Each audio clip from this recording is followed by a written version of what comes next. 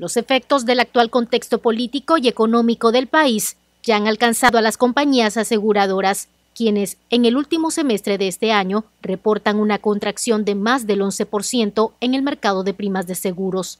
Bueno, podemos hablar del seguro hipotecario, podemos hablar del seguro de consumo, el seguro de automóvil, que son los que han sufrido este tipo de crecimiento, pues porque muchos han eh, dejado en abandono quizás este tipo de sector cuando hablamos de la banca segura, hablamos de los sectores hipotecarios, que esos son los seguros vulnerables que se ven en día. Pues cuando la persona no tiene la capacidad de pago para pagar la cuota de la casa, menos va a tener capacidad de pago para pagar la cuota del seguro. Entonces ahí vemos un ligero decrecimiento. Estamos eh, viviendo un segundo año de caída económica. El año que viene va a ser un tercer año de caída económica.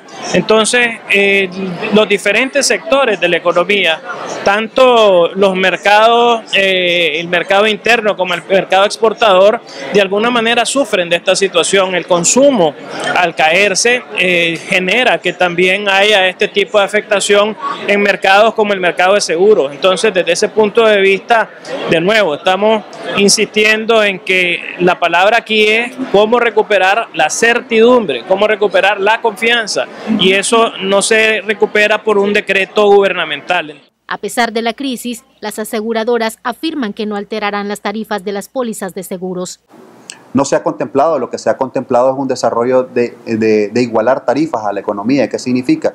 Eh, por, retener esas pólizas de seguro, por mantener esas pólizas de seguro, se han negociado tarifas, se han negociado bondades para que el asegurado no pierda esa cobertura que con año ha mantenido. Entonces creo yo que las compañías de seguro han sido un pilar para la economía nacional y que ha permitido mantener esa cartera de seguro con ese ligero decrecimiento, pero puede ser un ligero decrecimiento en prima, pero basado a qué? Basado a la realidad del país. Las compañías han permitido bajar sus utilidades, bajar sus eh, tarifas para que el asegurado se mantenga cubierto. En el actual escenario del país, a estas compañías no les ha quedado otro camino que adaptar su oferta con la ayuda de la tecnología. Eh, nosotros constantemente estamos innovando con los seguros que sacamos. Hay un seguro nuevo que, sacamos nosotros que es el seguro remesas pinolera, que no sé si lo han visto ustedes en la, publicidad.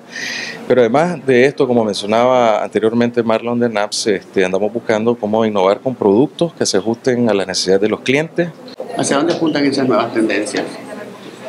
Eh, por ejemplo, eh, todo está apuntando al tema tecnológico, ¿verdad? La facilidad del acceso al seguro eh, para que los clientes puedan tener una mejor experiencia de, del tema de seguro, ¿no? Pues ahora con estos nuevos productos creemos firmemente que nuestra asociación va a crear una comisión de trabajo en el sector de la innovación de nuevos productos que se ajusten a la economía nacional y esto nos va a permitir un ligero crecimiento en la productividad y por supuesto de mano de las compañías de seguro que son este, nuestro valioso apoyo. Pues. Analistas políticos y económicos coinciden en que mientras el gobierno no acceda a negociar una salida pacífica al actual contexto, en el corto y mediano plazo, la economía y sus diversos sectores pagarán las consecuencias de la falta de voluntad política.